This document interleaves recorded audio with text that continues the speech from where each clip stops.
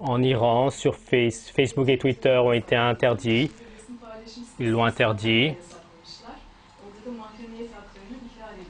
c'est-à-dire l'Iran, comme donc l'Iran s'est mis dans une nouvelle pos- position, comme c'est indécent, et ils sont devenus pires que la Corée du Nord.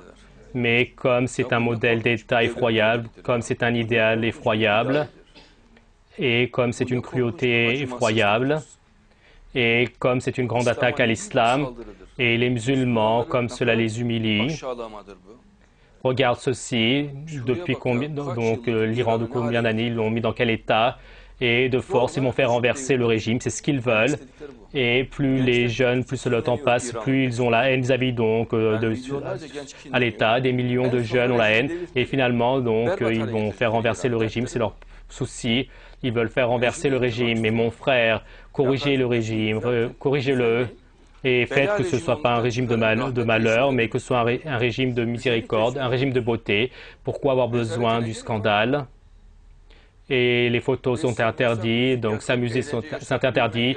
Le fait que les femmes s'habillent euh, tranquillement, c'est interdit. L'Internet, tous les moyens de l'Internet sont interdits.